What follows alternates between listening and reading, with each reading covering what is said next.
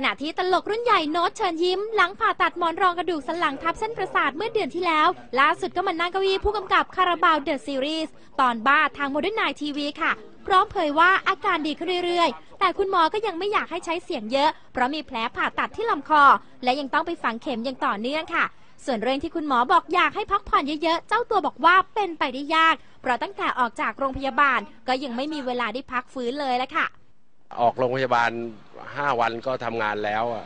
ซึ่งทุกคนเขาว่าผมบ้ากันเลย แต่ว่ามันทำไงได้งาน มันต้องรับผิดชอบหลาย ๆ รายการละครก็ดี